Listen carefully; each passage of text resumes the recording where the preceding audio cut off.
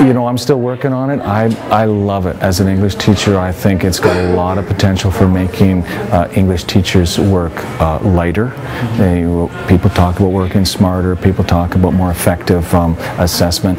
This has a potential for doing that if it's, if it's used creatively, and that's why I'm so interested because I don't want to burn myself out and I don't want to mark a thousand essays, and, and yet I want to be able to help students improve their writings it's connected to um, victimization and molestation and those kinds of things, and then you conclude. Okay, let's say you're going to talk about Naomi, Obasan, and Uncle Sam, and the com um, the uh, the topic was silence.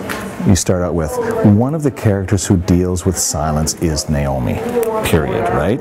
For this one, it, it really has that potential. I've never seen anything come along that has the potential for English teachers to to really improve their students' work without burning themselves out. So I'm like a 100% fan and once you actually just go through the process. And you don't really get your head around it until you actually go through the process, but it's it's such an easy process on its own. Um, for myself, like one of the reasons I like it is because it holds students accountable. I would suggest to teachers that you have a, a, a way to do um, very quick assessments. So, for example, with um, uh, my 30-1s, they're writing about uh, their um, novel study almost every day. It works like a portfolio. I'm saying, okay, which ones do you want me to mark? And then they can choose where they've done their best work. And they just share those ones with you? No, they've shared them all. I've got all of them. Um, but um, because they share on a daily basis, so I, I can always see what's going on, like we can discuss on a daily basis. But I, next year, what I would do is I would make sure that the work was done, so I would give a completion mark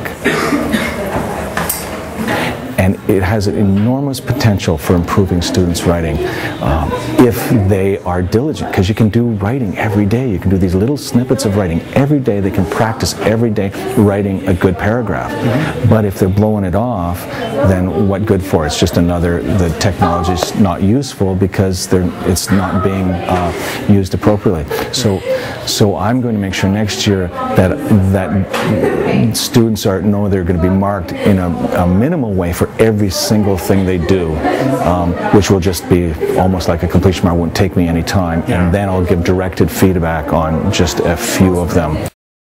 And how did, how did you learn how to use the? I just learned, you know, I just did it right. It's it's not not that difficult. So I, you know, if anyone's worried about it, it's if they can use a computer, if they can surf the internet, they can use this. Absolutely. There's there's nothing to be afraid of.